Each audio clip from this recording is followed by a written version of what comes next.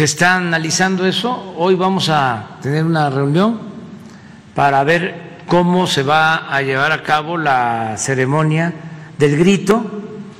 Eh, desde luego vamos a llevar a cabo esta ceremonia histórica importantísima, porque no solo es el grito de independencia, es el grito de libertad y justicia, así como es importante la consumación de la independencia, es igual de importante y a lo mejor de más trascendencia, de más profundidad, el inicio, el grito de independencia. Y esto lo sabe el pueblo, porque el pueblo es sabio y siempre tiene un instinto certero. ¿Qué es lo que conmemoramos más? ¿El grito o la consumación de la independencia? El inicio, el grito. El inicio. ¿Por qué? Porque es un grito por la libertad y la justicia.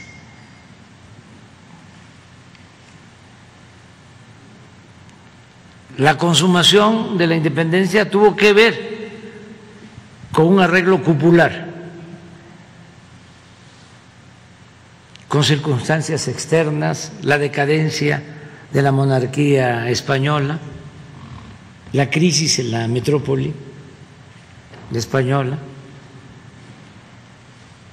y la oportunidad de la élite criolla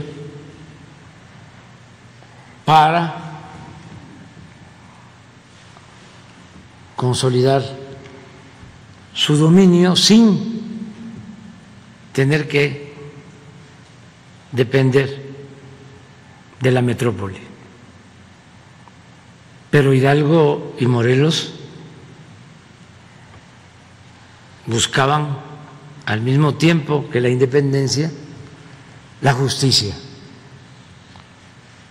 Hidalgo proclamó la abolición de la esclavitud y Morelos quería la igualdad, que se moderara la indigencia y la opulencia. Por eso, claro que vamos a conmemorar el grito de independencia el día 15 en la noche y al día siguiente pues el desfile, porque también es continuar con una tradición y no ser tan exigentes acerca de la hora del día. Por eso, sabiamente, son dos días, 15 y 16 porque hay historiadores que sostienen que el grito fue el 16, en la madrugada, en la mañana. Nada más que como el 15 de septiembre cumplía años Porfirio Díaz, entonces se aprovechó primero para el besamano hasta cierta hora y luego el grito. Y ya se quedó así. ¿Y para qué lo cambiamos? Así está bien.